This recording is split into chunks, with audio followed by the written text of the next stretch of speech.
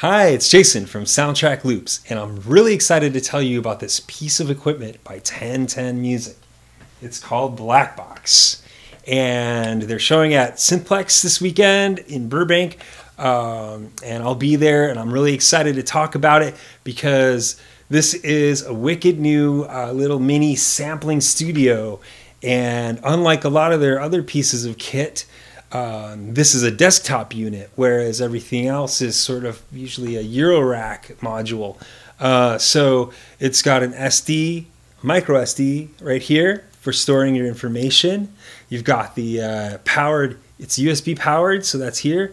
And um, touch screen, it's just a really cool box. And it comes bundled with hundreds of our sounds. So I hand curated uh, roughly 50 presets, about 800 samples for this bad boy. And uh, that's why I'm here because I want to show you guys what this thing is all about. So let's have a look. All right, so here is the 1010 Music Black Box Sampling Studio. It comes with a couple MIDI adapters.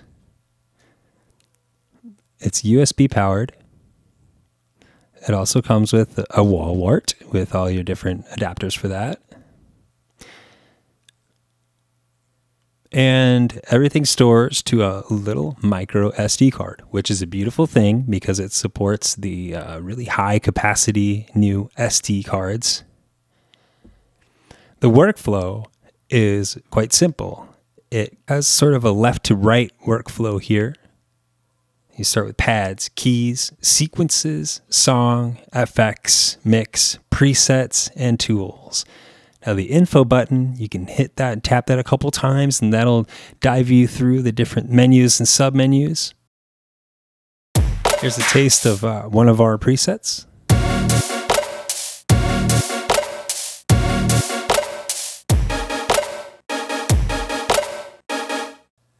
So let's have a look at the ins and outs on this bad boy. Let's have a look at the back panel. We're looking at a real low profile unit and really solid heavy build. It's a really nice little desktop box. You can see you've got your USB power, and device input, clock in out, MIDI in out, audio in, and three stereo outputs and headphones that input is stereo as well. So let's fire it back up and plug something into the input here so I can show you a little bit of the uh, sampling workflow. So I set up a blank preset. Let's load that, and that gives us empty pads. And then you hit info, and that'll bring you to the sample screen. And this is where we're going to record our samples. Okay. So here you can set a custom length for uh, the sample if you want to record an exact loop uh, set to a certain number of bars. And then this is your record threshold. This is when the device will start sampling. And here you can choose your inputs, stereo or left and right. Okay, and you'll get a little count in.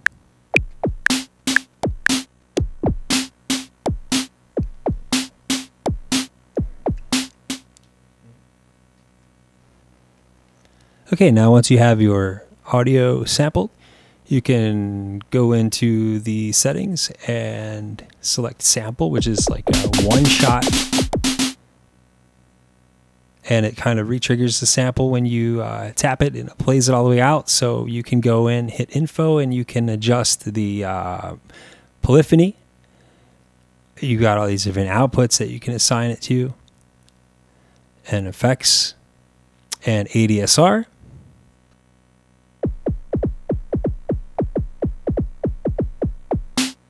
There, we can change the launch mode under the screen. You've got trigger, gate, and toggle. Okay, go to gate, and you've got your level, pitch, and filter. Pretty nice.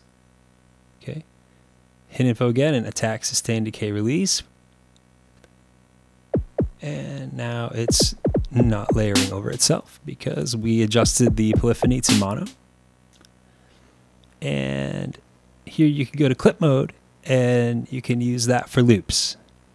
and it time stretches. And then there's a slice mode. And now this, you can scan the file and automatically drop slices in at the transients and split the audio up so that when you go to keys, for example, you can play the different slices on the keyboard. So I'm going to have to transpose this down a bit to find the rest of the audio. There's a kick. Okay. Kick and snare. Sliced up, ready to go. Simple enough. All right, so let's move on to sequences mode. Now here you can sequence a pattern.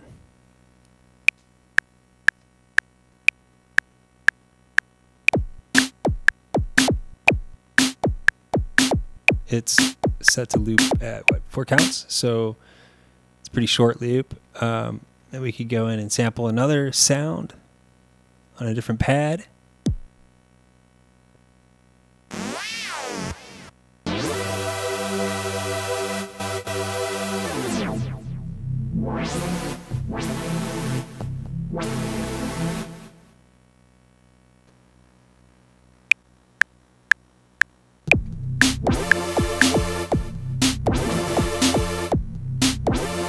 All right, so there's our new sample, and that's looping.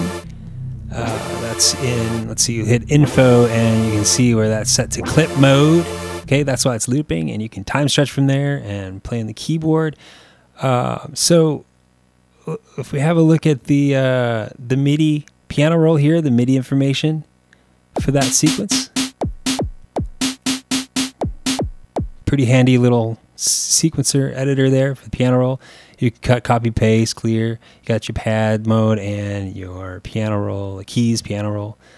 Uh, so, and then for keys, you got your step length, step count, duty cycle, and MIDI. The step length goes up to 164th and 64th notes. Uh, step count goes all the way up to, I believe, 128. So you get 128 steps for this sequence. Um, 128 steps. Boom. That's pretty badass. And uh, so that's a nice long sequence there. Uh, we'll dial it back. Keep it simple. You got different MIDI channels here, real nice. You can send that information out to the other MIDI channels and your quantized size. Okay, and it goes all the way up to 64th notes. Song, okay, so in song, you basically just record the sequences into sections. Okay, it's real easy. You just add a section, and then if you want, you hit sequence and highlight the sequences you want to be in that section. Just record play, and then you can just hit stop right away, and it basically grabbed those sequences and recorded them, placed them in that section. So over here, you've got effects, delay and reverb different delay and reverb parameters for that. Pretty cool. Uh, I have to route something over to this in order for us to hear that. So let me do that real quick for you. Delay out, effects one. So there's a typical delay effect. And over here we have the mixer. So you can just select the cell and adjust the volume and the panning and there we can load our presets and then we hit tools over here brightness headphone volume record to play midi pc off on metronome lead in. Nice little compressor built in. Global midi brightness. So let's go ahead and load a loop kit Brazilian Lounge 2.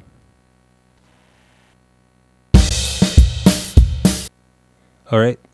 So if you hit play and then tap on the loops in the cells,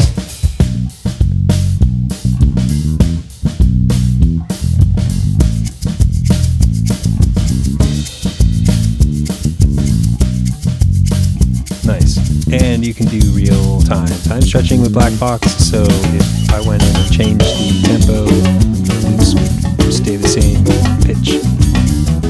All right, so that's pretty much Black Box in a nutshell. I hope you guys enjoyed the video, and uh, if you did, please subscribe to our channel. We're trying to get more subscribers here, our YouTube channel, and uh, you'll find links to all the companies mentioned, 1010 Music and Soundtrack Loops, in the description below.